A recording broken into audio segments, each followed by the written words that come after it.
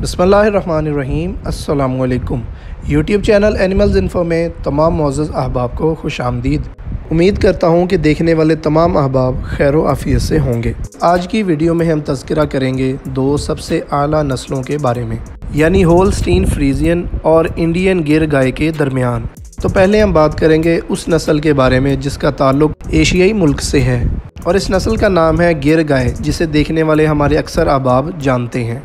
गिर गाय, जिसका बुनियादी तौर पर ताल्लुक भारत की रियासत गुजरात से है। आज से तकरीबन 60 से 70 साल पहले भारत में यह नस्ल एक आम नस्ल ही गिनी जाती थी। इस नस्ल के नतज तब डिवेलप हुए जब इसकी फ़ार्मिंग ब्राज़ील में की गई।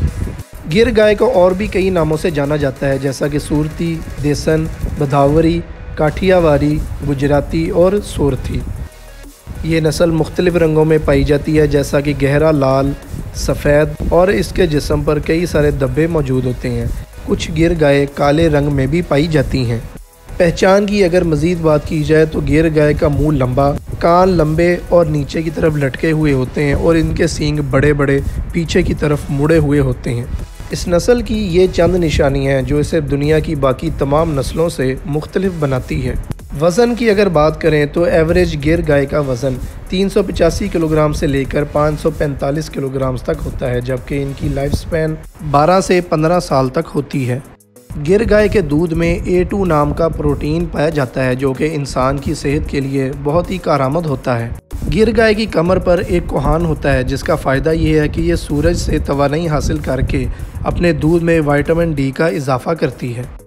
नाजिन, ये नस्ल अपनी खूबियों, दूध की पैदावार और एक मज़बूत नस्ल होने की वजह से आज इस वक्त पूरी दुनिया में ही जानी जाती है। भारत के अलावा दुनिया के कई सारे ऐसे ममालिक हैं जहाँ इसे शौक से पाला जाता है। गिर गाय के दूध में ओमेगा थ्री फैटी एसिड होता है, जो कि एचडीएल को बढ़ाता है और एलडीएल यानी कोलेस्ट्रॉल को कम करता है। एचडीएल इंसानी जिसम के लिए काफ़ी अच्छा जबकि एलडीएल नुकसानदेह होता है। ब्राज़ील में इस वक्त इस नस्ल के कई सारे बड़े बड़े फार्म हाउसेज मौजूद हैं और इस वक्त ब्राज़ील की 70 से 80 फ़ीसद दूध की ज़रूरियात इसी नस्ल से ही पूरी की जा रही है। गिर गाय के दूध में स्ट्रॉन्टियम ज़्यादा मकदार में पाया जाता है, जो कि इंसानी जिसम की इम्यूनिटी को मज़बूत बनाता है। और इसके साथ साथ गिर गाय का दूध इंसानी जिसम को कई सारी बीमारियों से लड़ने में मदद करता है। इसी नस्ल से तैयार होने वाली गिरलांडो गाय इस वक्त पूरी दुनिया में सबसे ज़्यादा दूध देने वाली गाय है। नाजिन, क्या आप जानते हैं कि गिर गाय का यूरिन भी ऑर्गेनिक फ़ार्मिंग के लिए इस्तेमाल किया जाता है?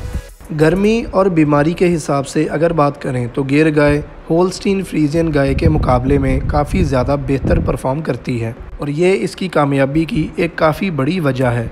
गिर गाय एक इलेक्ट्रेशन में 1700 से 1800 किलोग्राम तक दूध दे देती है। ज़्यादा अच्छी नस्ल की गिर गाय एक इलेक्ट्रेशन में 3000 लीटर तक भी दे सकती है और इसके दूध में चार इशारिया तीन से चार इशारिया आठ परसेंट तक मिल्क फैट पाया जाता है। तो ये थी नाजीन कुछ मुख्तर मालूम गिर गाय के बारे में। अब हम बात करेंगे अपनी दूसरी गाय, यानी होल स्टीन फ्रीजियन के बारे में। H F Holstein Friesian गाय, जिसका आबाई घर नॉर्थ हॉलैंड फ्रीजलैंड है। दुनिया भर में गायों की सबसे आला नस्लों में से इसका नाम सबसे ऊपर आता है। गिरलैंडो गाय में 70 फ़ीसद सीमन होलस्टीन फ्रीजन का ही पाया जाता है। इस नस्ल की अगर पहचान की बात करें तो ये दो ही रंगों में ज़्यादातर पाई जाती है, काला और सफ़ेद। होलस्टीन फ्रीजन गाय का एवरेज वज़न साढ़े चार सौ से पाँच सौ अस्सी किलोग्राम तक होता है। ये मवेशी साइज़ में बड़े कद काट के हामिल होते हैं। इसी वजह से एच एफ़ गाय गिर गाय के मुकाबले में साइज़ में बड़ी होती है।